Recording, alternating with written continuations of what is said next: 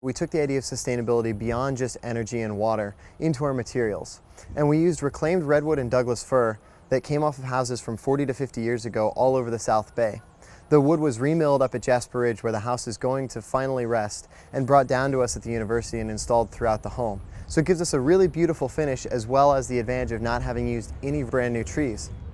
All of our structure and walls were built out of a structural insulated panel system, which comes as prefabricated wall sections with four to eight inches of foam sheathed in two pieces of plywood.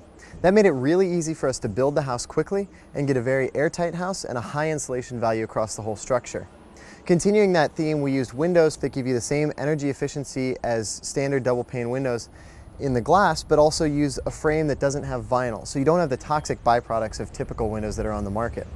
Another cool product that we use is a phase change material that we installed in the ceiling below the drywall. And what this does is it melts as the house warms up during the day to absorb a lot of heat right around 72 degrees Fahrenheit where you're most comfortable without actually changing the interior temperature of the room. So it stores all that heat during the day and then when it starts to cool down at night, re-releases it by freezing back into a solid gel therefore allowing the house to stay warm later into the evening, meaning that you don't have to use your heat quite as much.